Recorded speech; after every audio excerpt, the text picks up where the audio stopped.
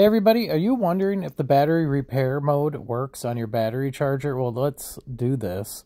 I'm using a Nexpeak battery charger, and as you can see here, it does fix a battery. So let's check out what I did.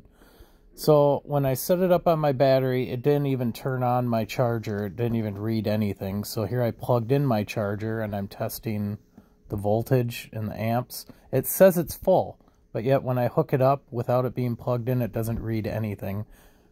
And so I turn on the repair mode. I left it for a few hours and just to see if it would work. Now, when I put it on a battery that I know works, which is my uh, boat battery here, I don't have it plugged in.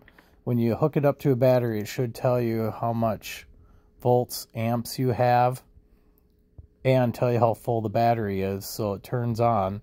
So when I had it on my small battery, it didn't even turn it on. It wasn't reading it. So after being on the repair mode for a few hours, now I plug it, and it's not plugged in. I'd hook it up to the battery. Now it's reading that's over 12 volts.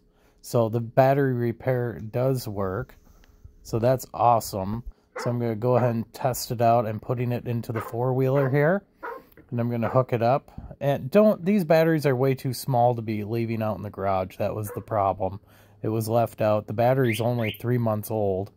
So really happy that this Nexpeak worked. So here I turn everything on, boots up. It wasn't doing that before. There was zero coming out of that battery before. So if you're looking at getting something to repair your batteries, these Nexpeak, they do work, at least for the small battery.